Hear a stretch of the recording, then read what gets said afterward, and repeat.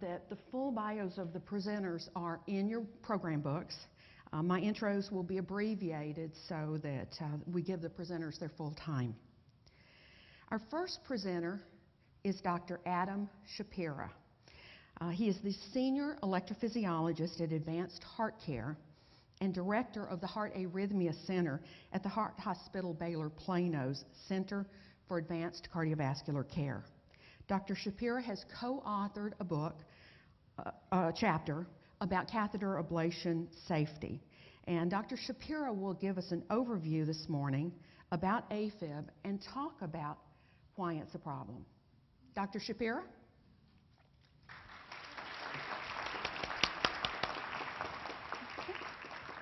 Good morning. Uh, Mellanie, thank you very much for the invitation to participate, and it's uh, an honor to be here speaking with everyone. Um, I am uh, going to be giving a, a, bit of an overview of atrial fibrillation and defining why it's a problem and talking about some of the, the causes that we uh, frequently implicate with, uh, with atrial fibrillation or the causes that are uh, implicated in, in atrial fibrillation. So, um, microphone was sliding. um, so first, and this may be review for, for many folks here, um, but uh, just to go over cardiac anatomy, and uh, this will give us a framework for kind of discussing uh, all the future topics that are going to be coming up today. But this is a very simplified schematic of the heart, and um, I'm going to use this one with the pointer. But uh, basically, as uh, we kind of informally refer to them, the top two chambers of the heart would be the right atrium and the left atrium. And the right atrium is located over here, left atrium is over here, and these chambers will pump blood into the right ventricle and to the left ventricle. And just to give you a brief overview of um, physiology and cardiovascular physiology, blood will flow uh, into the right atrium from the brain and from um, the neck, and then blood is received into the right atrium from the legs and the torso, the abdomen, and um, all the uh, organs in the thorax, uh, and arrives in this uh, um, chamber right here, the right atrium. It gets pumped to the right ventricle, and then from the right ventricle, it gets pumped anywhere.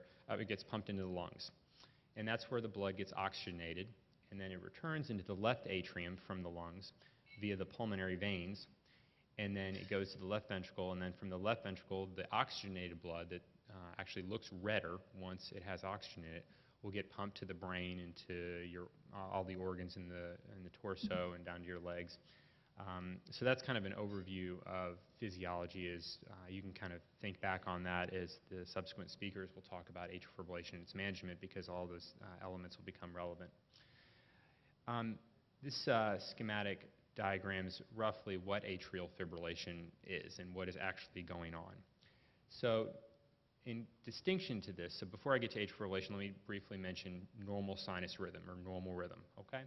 This is the sinus node, this little yellow uh, dot right here in the right atrium.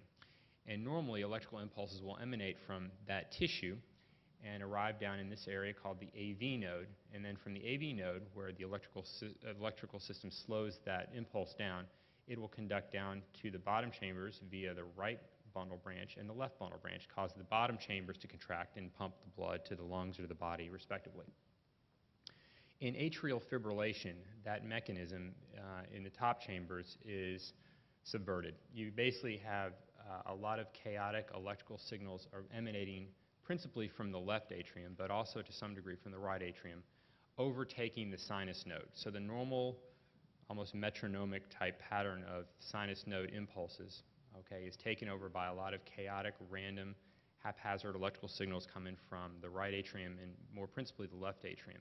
And I mentioned before the pulmonary veins, and uh, our subsequent speakers will talk more about the pulmonary veins, but that's a frequent target for atrial fibrillation because a lot of this chaotic electrical sig uh, signaling that comes from atrial fibrillation will emanate from the tissue around the pulmonary veins. Um, so that's electrically speaking what's going on in atrial fibrillation. Now, to define atrial fibrillation, um, it's not just enough to say I have this funny feeling in my chest or I have some uh, you know, irregularity to my heart rate. On an ECG is where we really formally diagnose atrial fibrillation. And this is what atrial fibrillation looks like on an ECG tracing. Okay, now we've seen there are several ways you can um, uh, assess and, and, measure and record an ECG. This is just kind of one line on an ECG. Normally, on a full ECG, we have 12 of those lines. But this is what it looks like, and you get this very kind of chaotic, wiggly line here between all of these big spikes. And this wiggly line reflects what's going on in the atria, or the right atrium, the left atrium, the top chambers. These spikes here reflect the ventricles, or the main pumping chambers, and when they contract, they create this electrical signal here. In normal sinus rhythm, by contrast, you have this nice organized pattern here. So that's what uh, the definition of atrial fibrillation is on an ECG. What are the risks of atrial fibrillation? This is something that's on, on everyone's mind who has atrial fibrillation or um, cares for someone who has atrial fibrillation. Um, the two principal risks that we get concerned about are increased stroke risk and heart failure risk. Stroke risk is the most important uh, element in, in, my view, and um, I know Dr. Prystowsky is going to talk about this. But um, what's going on is when the top chambers, uh, the right atrium and the left atrium, are in atrial fibrillation, they're not contracting as well as they normally would in sinus rhythm. And when they don't contract, the blood doesn't slosh around, so to speak. It doesn't move around very much in the top chambers. And when the blood doesn't move around very much, it can form a clot relatively quickly. And when that if, a clot were to form, it then gets sent to the right ventricle or to the left ventricle, and then from there, the muscular chambers of the heart, the ventricles, will pump that blood, including the clot, out into the body, and it can go to the lungs, it can go to the brain, it can go anywhere in the body. But most concerning is that if it goes to the brain, it can cause a stroke. So that's that's where um, a lot of the tension and I think the most important uh, element of atrial fibrillation management lies in preventing stroke. Heart failure can also arise this is another, the second most, uh, second cause of morbidity and mortality or risk in atrial fibrillation. Because when you're in atrial fibrillation, the top, the top chambers will drive the bottom chambers very fast.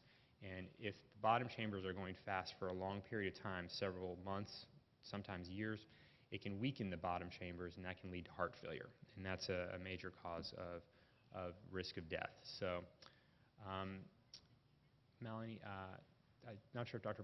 is talking about these two slides or not. Um, okay. I'll, I'll mention them briefly. Um, but there are two ways that we can look at stroke risk in atrial fibrillation. There's something called a CHADS 2 score, which is a little bit older risk modification scheme to assess someone's risk of having a stroke. So if someone has heart failure, if they have high blood pressure, if they're over the, if they're 75 years of age or older, if they have diabetes, or if they've had a stroke, they get a certain number of points. You get one point for everything except for stroke history, where you get two points. And then you can look on the right-hand side of the screen. You can tally up a score. And if your score, your score can go anywhere from zero to six.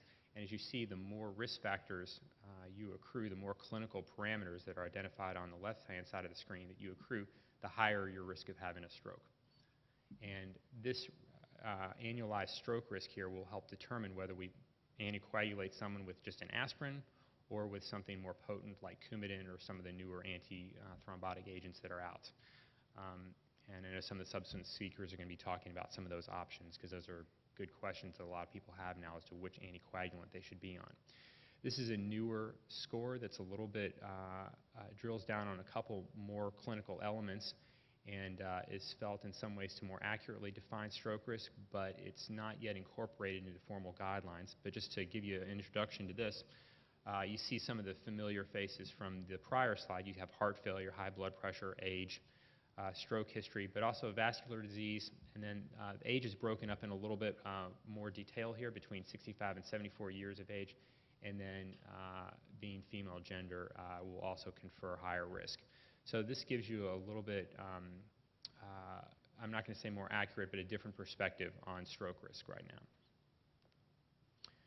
So question that always comes up is what did I do to cause this? Why do I have atrial fibrillation? And quite honestly, a lot of time, and most of the time in, in my practice, there's really no good answer. Um, so uh, there's a lot of things that can contribute to the development of atrial fibrillation, and I've listed a lot of them here. You can have valvular heart disease where the valves in the heart are not functioning as well as they should, and you can get backwards blood flow, or you can get lack of blood flow across one, from one chamber to another, and that can cause uh, pressure changes and dilation of the chambers that can lead to atrial fibrillation, high blood pressure, diabetes, heart failure.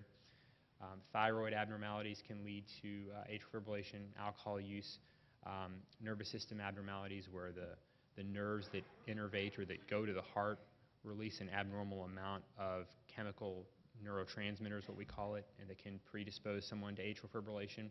Uh, genetic factors, cardiac surgery is a very common cause of atrial fibrillation, uh, chronic kidney disease, um, obesity, metabolic syndrome, uh, hypertrophic cardiomyopathy, which is a big long term that basically refers to thickening of some of the heart muscle walls, um, coronary disease, and inflammation. So there's a whole host of these things, and it's not uncommon to have uh, a patient that has multiple elements that you've seen listed here. Um, genetics, um, uh, Mellanie wanted me to mention um, uh, the role of genetics, and this is a little bit unclear uh, right now, but this diagram here is not uh, anyone who has atrial fibrillation. It just kind of shows you what we're looking at when we consider genetics in someone uh, with a medical condition. Uh, this would be a man and this would be a woman, and then this reflects their offspring, and you can see some of the offspring marked by the black box are affected by uh, the condition, a generic condition. In this case, you know, it might be atrial fibrillation, but um, the bottom line with genetics, in, in my view, is that it's not really completely understood right now. We don't really do anything to target genetics uh, in atrial fibrillation and its role in atrial fibrillation, but it, in all likelihood, has some causal role.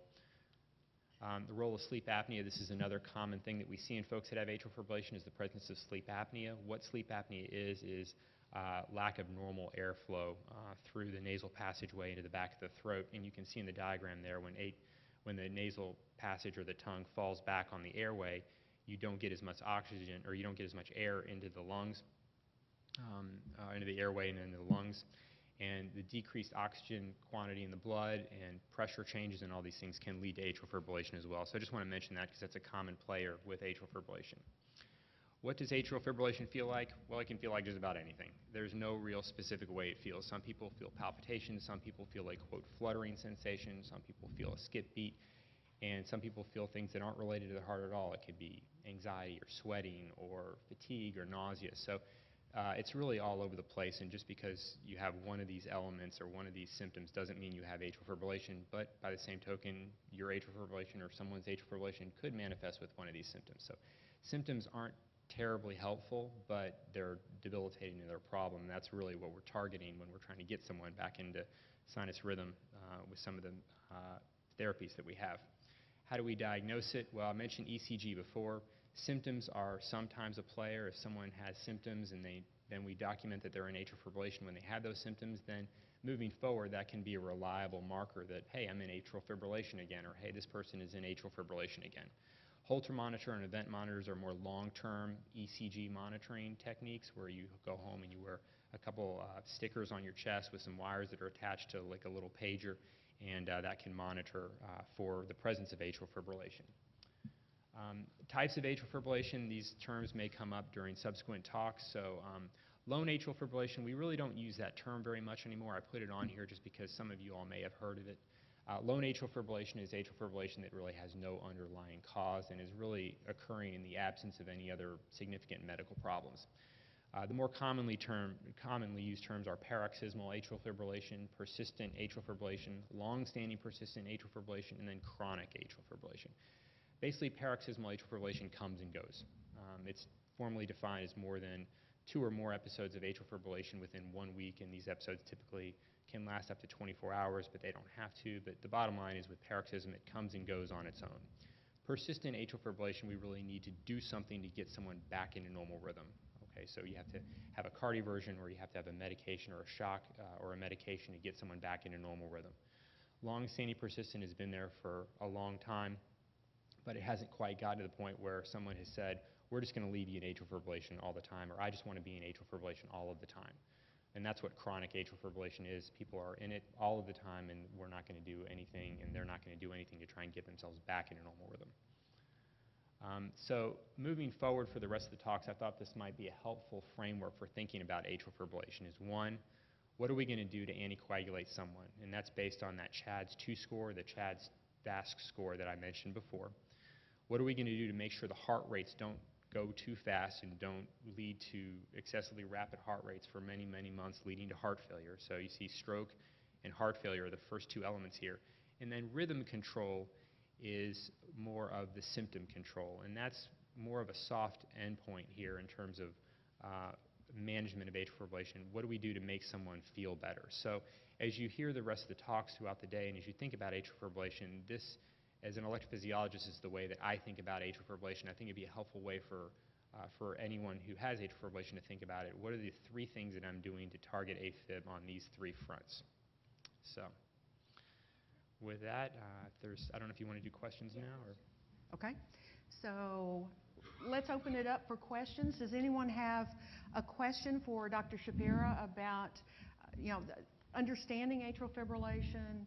Um, what are the risks of atrial fibrillation? And Melissa is walking around with the microphone to um, allow you to ask your questions.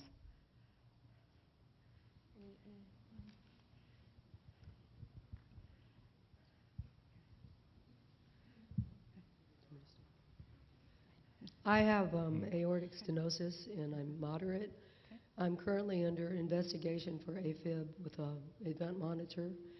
And um, I've had a little bit of sensations of all of this going on, but I had sort of a little emergency after I started taking an increase of niaspan, and that's it seemed to happen almost right away. Hmm.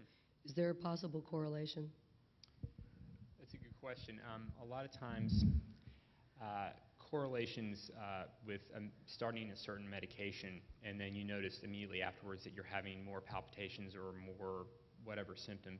In all likelihood, there is there very well may be a role in, in linking the two. Um, however, and I tell this to folks all the time, atrial fibrillation is so common, and particularly in the setting of valvular heart disease, it may have happened anyway. So there's not really going to be, uh, uh, I think, a clear-cut way to link the two. However, if you stop the medicine and it goes away, then it might be that the, that, that medicine is causing that. But it's niacin can frequently cause flushing and a sensation of warmth and rushing, you know, to your face and your head. And um, atrial fibrillation for some folks can feel the same way. So um, uh, you're dealing with, unfortunately, with AFib, we're dealing with a bit of a, a chaotic element. And as the electrical uh, pathways and, and patterns in atrial fibrillation are itself chaotic, the clinical manifestations of it, meaning how it shows up, you know, and how people experience it, can also be a little bit random too. So.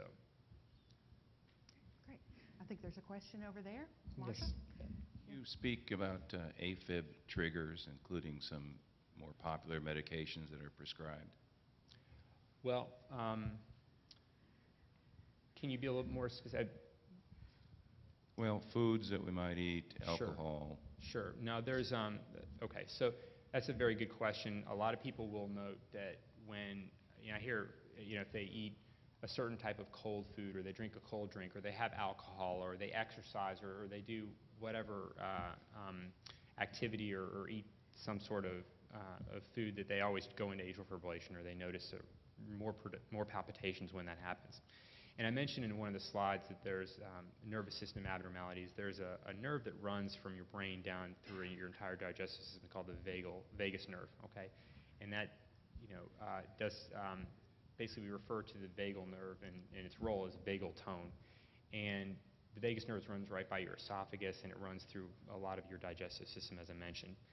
And things like cold water, it's postulated that when you drink cold water, it can sometimes cause an excess triggering of this nerve and it can the release of neurotransmitters from this nerve can sometimes lead to atrial fibrillation. And in fact, when we do AFib ablations, um, we target the pulmonary veins, which I mentioned before, but we also target these we call them plexi or plexus, where, where the nerves kind of come together, and a lot of the nerves come together on the back wall of the heart. And the ablation also will target that tissue as well. We can't really define where that tissue is as readily as we can define where the pulmonary veins are. But to speak to your question now, um, some triggers you mentioned, like uh, that I come across, drinking cold water, you know, can sometimes trigger that area. Now, certain medications have certain chemical components to them that uh, can alter other medi- alter other neurotransmitters or other chemicals in your body that may make it more likely to go in you to go into atrial fibrillation. So something that has the same effect as caffeine on your body. You've heard of the fight or flight response, and uh, that kind of gets everything revved up in your body in terms of you know, the human body scared, so it's going to run away from something. Well, the same thing can uh, activate the heart and cause the heart rate to increase and can sometimes trigger atrial fibrillation in some folks. And thyroid abnormalities, for the same reason, these chemical components in the bloodstream can sometimes trigger atrial fibrillation by uh, mainly affecting neurotransmitters and, and nerve-ending chemicals.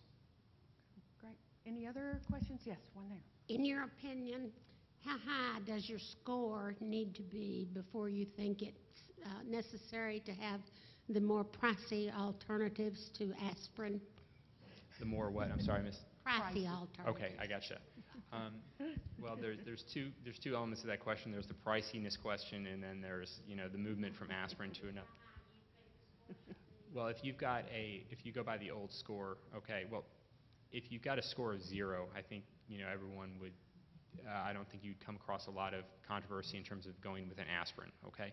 When you start hitting the score of one is when we start moving into the wiggle room of, does someone need to be on a more potent blood thinner or do they need to be on just an aspirin? And that is modified by your risk of bleeding, okay? So if someone's risk of bleeding is higher than their risk of having a stroke, then we favor not being as aggressive with anticoagulation. If someone has a very low risk of bleeding, then we recommend going ahead and, and- putting them on an anticoagulant. Great. Okay, thank you. Um, Yeah, we can take one more. I want to know whether or not the ejection fraction uh, plays any kind of a role in giving you clues. It does. Um, anyone who has heart failure is at risk of having atrial fibrillation. So there's an increased risk of, of atrial fibrillation in someone who has heart failure. And the ejection fraction, uh, for those aren't, who aren't familiar with that term, that's an index or a percentage of blood that's ejected from the left ventricle, the main pumping chamber in the heart, uh, per heartbeat. And when that ejection fraction starts to decline, normally it's about 50, 55% in that range. Um, when it starts to decline, that indicates heart failure, okay? And folks that have heart failure uh, are also at risk of having atrial fibrillation. So to answer your question, yes, the ejection fraction does play a role in determining someone's risk of atrial fibrillation. Okay, great. Thank you Uh, so thank much, very Dr. much. Shapira. Thank you.